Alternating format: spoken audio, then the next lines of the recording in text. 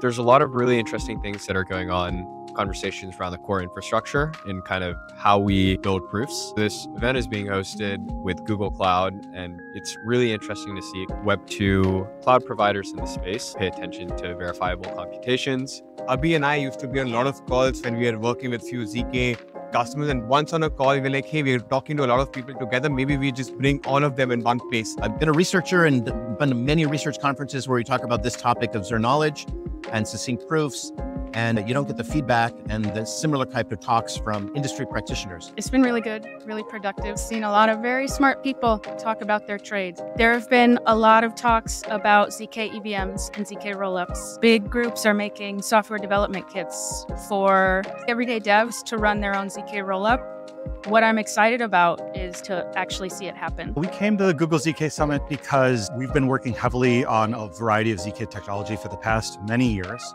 We thought this would be a good place to come and kind of both share that research and be able to talk to people that are going through some of the same growing pain that we are in terms of understanding how to uh, improve our technology and honestly kind of build community around it. If you look at the ZK scaling roadmap for Ethereum, it's always been about making that proving infrastructure better so that actually we can hit the scalability goals that we are all planning. We're just excited to see the proofs get faster and see the proofs get cheaper because running ZK proofs right now is really, really expensive. We're quite keen to increase the security for our users. You know, our current system is secure, but it's always nice to go from a 9 to a 10 if possible. The discussions that were most interesting to me were the ones around real world use cases and applications. So we talked yesterday about utilizing ZK for privacy, which I think it was one of the first characteristics that people got excited about zero knowledge for. The whole trend in ZK applications will lead to bigger and bigger proofs, which means bottlenecks and being able to deliver performance both at a decent cost and in a reasonable time. I'm starting to see that in the business community.